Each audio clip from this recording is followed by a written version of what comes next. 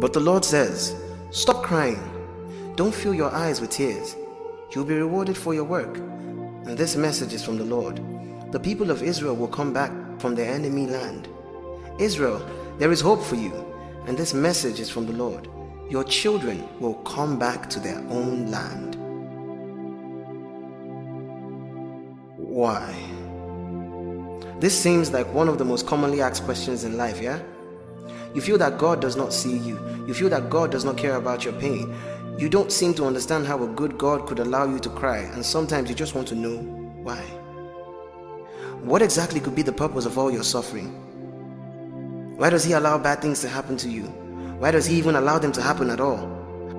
Unfortunately, you might not always know the reason why. However, what you should always know for sure is that there is a reason, in fact, a particular reason to why God allowed it to happen. Now, the truth is that God allowed His own dearly beloved Son to suffer precisely because He loves you and I so much. For He who spared not His own Son but gave Him up for us all, how will He not also with Him grant us all things? God did not promise us a life free of tears, challenges, tests, or trials. Inasmuch as He would not intentionally cause them to happen to you, He, in all His mightiness, in His all knowingness, He would always make those situations turn out for your good. Now, the Bible is full of examples of people that followed God and were beloved by Him, yet they faced every form of adversity here on earth. Remember Romans chapter 8 verse 28 says, And we know that God works together all things for the good of them that love him and those that are being called according to his purpose. As long as God is involved, he allows the pain. He allows that pain that causes you to cry because he is behind the scenes steering the course of affairs in your life. I know it doesn't seem like it. I know that the pain might be unbearable. But listen, if God is in it, all you have to do is wipe your tears. You wipe your tears knowing fully well that there's a reason behind that pain. And as a matter of fact, a particular reason. So the Bible makes us understand that God permits suffering because God has a purpose for every tear that drops from our eyes. We all understand this at a basic human level. Imagine you have to take your one year old child for vaccination and this process involves needles. Not every adult can stand needles. Oh, definitely, I can relate to this. And not every adult can compose themselves at the sight of a needle. But I'm almost sure that you have an idea of how babies react at the sight of doctors. Oh, they go berserk. But how do you explain to your one year old child that the pain, that the pain process you're about to take him or her through will cause him some tears, some pain, even agony, but it's all for his good. Remember that your only child sees the needle and he would definitely feel the pain, but all that you're doing is to fortify and protect him for the future.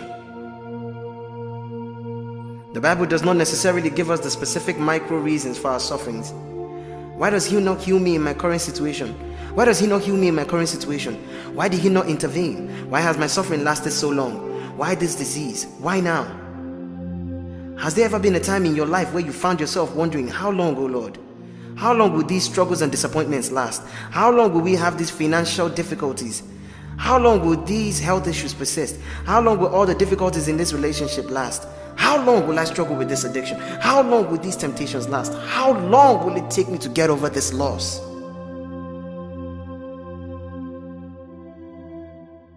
But keep in mind that another reason for your tears is that God wants to display His glory. Oh, yeah. Remember that story of the man in the Bible who was blind from birth? John chapter 9, verses 1 to 3. And passing by, he saw a man that was blind from birth.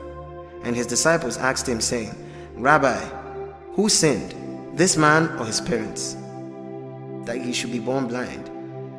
Jesus answered, Neither the man sinned nor his parents, but it was that the works of God should be displayed in him. So that lets us look at the story of Lazarus, Jesus' friend. This is a situation where Jesus himself wept. Yes, Jesus cried. Now, a certain man was ill, Lazarus of Bethany, the village of Mary and her sister Martha. It was Mary who anointed the Lord with ointment and wiped his feet with her hair. It was this same Mary whose brother Lazarus was ill. So the sisters sent for him, saying, Lord, he whom you love is ill. But when Jesus heard it, he said, This illness does not lead to death. It's for the glory of God, so that the Son of God may be glorified through it. And it sounded weird that Lazarus, the friend of Jesus, would die and Jesus would let him die. The one who has the ability to kill and make alive, the one in his all knowingness, in his almightiness, let his friend die. All for what? So that the glory of God might be shown? That is amazing. And when Lazarus fell ill, Jesus didn't immediately come to his rescue. Of course not. In fact, Jesus didn't show up until he died because of his sickness. Lazarus' family, especially his sisters Mary and Martha, they were heartbroken over the loss of their brother. I know at one point they were probably even furious at Jesus. They were probably even furious at why he would let his own friend die. I'm pretty sure if Jesus was alive today, oh, definitely they, they ain't talking to Jesus no more. They are definitely not talking to Jesus again. I'm so sure they were disappointed. They were disappointed because this Jesus that goes about healing people and raising the dead could not help their own situation. And since Jesus had the power to do miracles, why did he allow all this to happen in the first place? And then he goes further to say that it's for the glory of God. So could it be that that evil that is happening to you is for the glory of God? Could it be that that friend or that partner or that fiance or that person that you're about to let go of is for the glory of God? Could it be? Think about it. Beloved, God allows suffering to bring Himself glory.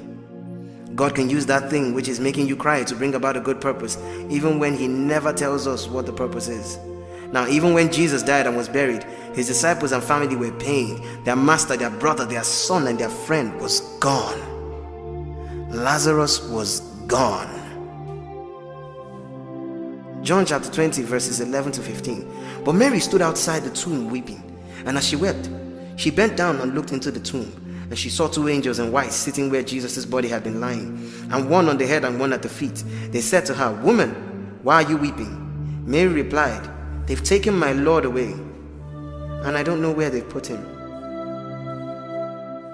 And when she had said this, she turned around and saw Jesus standing there, but she did not know that that was Jesus. And Jesus said to her, Woman, why are you weeping? Who are you looking for? Because she thought he was the gardener. She said to him, Sir, if you've carried him away, tell me where you've put him, and I will go and take him. So could you imagine that Jesus had to die for you and I to be redeemed and restored back to God?